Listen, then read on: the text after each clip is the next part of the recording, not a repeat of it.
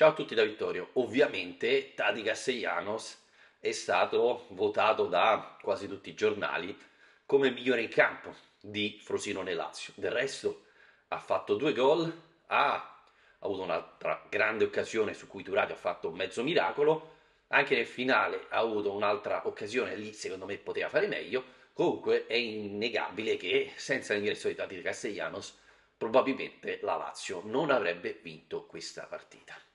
E quindi ci si interroga se, vista anche la brutta prova di Ciro Immobile, e bisogna dire che nell'ultimo mesetto Ciro non ha più trovato il feeling con il gol, eh, ci si chiede se ci sarà un cambio là davanti, se Tati Castellanos adesso deve partire titolare. Ovvio, se si continuasse con il 4-3, se ci fosse stato ancora Maurizio Sarri, inevitabilmente credo che alla prossima partita Castellanos avrebbe giocato là centravanti nel 4-3 targato Maurizio Sarri. Con l'arrivo di Igor Tudor cambia tutto, cambia tutto perché la Lazio verosimilmente giocherà con un 3-4-2-1 o 1-2 e quindi eh, bisogna vedere chi e come giocherà la Lazio là davanti. Certo, Tati Castellanos ha mandato un messaggio importante. Ha fatto due gol che sono stati decisivi alla fine. Due gol importanti e soprattutto, secondo me, in una settimana molto complicata, abbiamo visto alcuni giocatori veramente fare fatica. Castellanos ha giocato con la cattiveria, con la grinta, con la determinazione che io speravo di vedere un po' in tutti i giocatori. No? Dopo una settimana brutta, dopo che il tuo allenatore è stato esonerato, io speravo di vedere giocatori veramente giocare con il sangue negli occhi e invece purtroppo abbiamo visto i soliti giocatori della Lazio. Tranne Tati Castellanos che invece è entrato, primo pallone gol, secondo pallone miracolo di Turati e terzo pallone gol. Sì, il terzo gol obiettivamente credo l'avrebbero segnato tutti, però devi essere bravo e fortunato a trovarti nel momento giusto, nel posto giusto e Tati lo è stato. È anche vero che hai fatto due gol al Frosinone, qualcuno ha scritto lo scorso anno ne ha fatti quattro al Real, quest'anno ne ha fatti tre al Frosinone. Non è proprio la stessa cosa, no? Mi sembra evidente, però bisogna buttarla dentro, bisogna buttarla dentro e Castellanos dal gol proprio contro Frosinone non l'aveva più buttata dentro, ecco. Ieri c'è stata una reazione importante da parte dell'argentino, anche un messaggio probabilmente al nuovo allenatore, Igor Tudor, che dovrà scegliere. Non so se eh, Tudor sceglierà Tati Castellano. Sicuramente ieri ha visto la partita, anche se era a casa in Croazia, e avrà preso delle note importanti. Ecco, sicuramente Ciro non ha mandato dei messaggi positivissimi, mi è sembrato un giocatore poco convinto, e il centravanti deve essere sempre convinto, dall'altra parte Castellanos ha fatto finalmente una partita buona. Certo, ripeto, Frosinone è una delle squadre che ha subito più gol nelle ultime giornate, quindi questi gol hanno un valore sicuramente per la Lazio, ma bisogna anche dargli un peso onesto, non è segnare contro il Milan, non è segnare contro l'Atalanta. Però, visto la competizione, beh, Tati merita di ripartire titolare la prossima partita, anche se la prossima, io ricordo, è contro la Juve. Attenzione perché Tudor potrebbe anche optare per il doppio centravanti, ovvero Castellanos vicino a Ciro Immobile. È una soluzione che potrebbe essere scelta dal nuovo allenatore della Lazio, però la vedo un po' complicata. Sicuramente Castellanos ha finalmente mandato dei segnali positivi. Castellanos era uno che ha sempre lottato, però secondo me, tranne nella partita contro il Frosinone, l'ho sempre visto troppo spesso spalle alla porta, troppo spesso in posizioni in cui tirare era praticamente impossibile. Invece contro il Frosinone abbiamo visto un Castellanos diverso. Forse tutta la rabbia accumulata in questa settimana lo ha eh, galvanizzato, gli ha dato l'energia per cambiare rotta. E questo è sicuramente un dato positivo. Ricordiamoci, Castellanos è costato tanto alla Lazio, finora ha reso pochissimo. Ecco, bisogna anche dire che Castellanos però è a 4 gol in una stagione dove non è partito titolare tantissimo e quindi anche qui in una Lazio in cui eh, si segna pochissimo, i, due, i 4 gol di Castellanos sono sicuramente un fattore importante. Castellanos quindi migliore in campo, ma prima di dire che abbiamo finalmente un centravanti importante, direi di aspettare test più probanti come quelli che arriveranno contro la Juventus e contro la Roma. Insomma, ci vuole ancora non ci dobbiamo sbilanciare subito, non bastano due gol al Frosinone per dirci Castellanos è fortissimo, è lui il futuro della Lazio. Bisogna confermarlo in queste ultime partite della stagione. Ma non voglio parlare solo di Tati Castellanos, voglio parlare anche di Mandas. Ieri titolare, ovviamente, per l'infortunio di Provedel. Ecco, Mandas era una situazione molto complicata, l'ha detto anche Martuscello ieri nel post partita. Giovane, straniero, arriva in una situazione difficilissima perché la Lazio è contestata, l'allenatore si è dimesso e tu ti trovi a giocare titolare. C'erano tutte le condizioni per una partita disastrosa. E invece Mandas, secondo me, ha fatto un'ottima partita. Certo, qualcuno ha scritto ha sbagliato il passaggio e ci avevano pareggiato.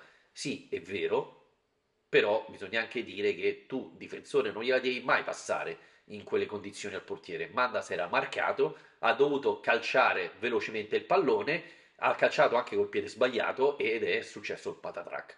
Però, tolto quell'episodio, Mandas secondo me ha fatto un paio di interventi molto importanti. Il primo, il primo tiro dove addirittura la blocca, non era un tiro difficilissimo, però sai, primo tiro, sei ancora freddo, eh, parata non, non difficilissima, ma neanche facile, tu la blocchi, secondo me mandi un segnale a tutto il reparto. Ma quello che mi è piaciuto tantissimo di Mandas sono stati i minuti finali, perché negli ultimi minuti il Frosinone ha mandato tantissimi attaccanti e buttava sempre il pallone dentro un'area di rigore. Per un portiere magari non sicurissimo, eh, quelle sono palle velenose. E invece Mandas ha fatto un paio di uscite buone, anticipando tutti, mandando un segnale importante non solo agli avversari, ma anche ai compagni di squadra, dicendo io ci sono, sono pronto e non ho paura di uscire. E poi quello che non sottolinea nessuno, mi dispiace perché secondo me dovrebbero fare un paio di replay, soprattutto da dietro. Mandas fa due parate, una su Valeri, secondo me molto molto buona. Quella è una parata difficilissima perché Valeri ha un bel tiro, ce lo ricordiamo con la Cremonese. Fa un bel tiro, la palla viene deviata, quindi la traiettoria cambia e Mandas è così bravo da riuscire ad aggiustare la mano di richiamo e andare a prendere il pallone e deviarlo in calcio d'angolo. Quella è una parata che molti eh, non considerano, ma che in realtà è un ottimo intervento. E ne fa un'altra anche dopo. Insomma, Mandas ieri ha fatto, non dico un partitone, però ha fatto dei buoni interventi. Ricordiamoci che parliamo di un portiere di 22 anni, un portiere che ha giocato pochissimo, portiere che però oh, nel derby di Coppa Italia senza strafare ha fatto bene e non era facile esordire nel derby e contro Frosinone, fa il suo esordio in campionato al primo minuto, in una situazione molto complicata, visto la situazione della Lazio, eppure fa un partitone. Ecco, segnali molto incoraggianti da parte del portiere greco che, non lo so, adesso ha l'opportunità, credo, perché non credo che Provedel riuscirà a tornare prima della partita della Juventus, di mettersi in mostra, di mostrare a tutti il proprio valore. Attenzione perché, insomma, con il nuovo allenatore qualcosa potrebbe cambiare se Mandas si mette in vetrina e dovesse fare molto bene. In chiusura voglio parlare anche di Daichi Kamada. Ieri sono stato sorpreso, non so se voi avete avuto la stessa sorpresa, di vedere Kamada entrare al posto di Zaccagni. Io pensavo sarebbe entrato al posto di Luis Alberto, invece Zaccagni è uscito, è entrato Kamada e ha fatto l'attaccante esterno. Eh, non so se avete seguito la partita su Sky, ma Gentile dice una stupidaggine perché Kamada ha già giocato esterno di sinistra nella Lazio di Sarri, lo ha fatto nel derby, se vi ricordate, negli ultimi minuti, e non solo, quindi Gentile sbaglia nel dire che non era mai successo, era successo, però a differenza nel derby ho visto un Kamada non solo cattivo, ha recuperato un sacco di palloni, ma decisivo, importante, incisivo, ha fatto un paio di giocate buone. Sì, solo davanti a Turati la passa a Castellanos che sbaglia, io la volevo vederlo concludere. Però ho visto un Kamada che ha fatto vedere il suo talento, la sua qualità e soprattutto finalmente, sottolineo finalmente, la cattiveria. È entrato, ha rubato un sacco di palloni, combattuto, non è che il pallone gli è capitato addosso, no, l'ha strappato, l'ha sradicato dai piedi degli avversari, mostrando quella cattiveria che a, finora non l'aveva mai messa in mostra. Non solo, Tornando all'episodio in cui passa la palla a Castellanos che tira fuori, se andate a vedere il replay si vede un Kamada incavolato verso Castellanos. Ecco, segnali incoraggianti, segnali positivi dal giapponese.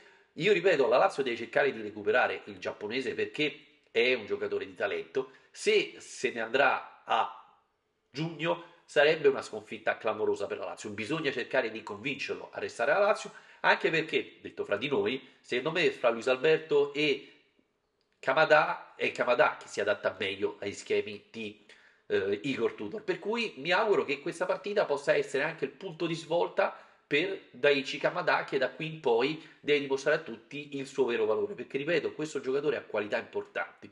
Secondo me un po' Sarri che è un po' scorbutico un po' lui un po' timido non si sono trovati e quindi le cose non sono andate bene. Adesso però non si può più tirare indietro. Adesso Kamada deve dimostrare a tutti il suo valore e sabato sera contro Frosinone abbiamo visto piccoli piccoli segnali incoraggianti. Non mi voglio sbilanciare, non voglio dire è tornato Kamada, eccetera, eccetera, però sicuramente segnali positivi per il futuro del giapponese alla Lazio. Ovviamente questo è il mio giudizio, tu che ne dici? Scrivimi metti qua sotto e noi ci ritroviamo domani mattina alle 8 con Good Morning Lazio che trovate sia sul mio canale YouTube sia in versione podcast su Spotify, Spreaker eccetera eccetera. Ciao!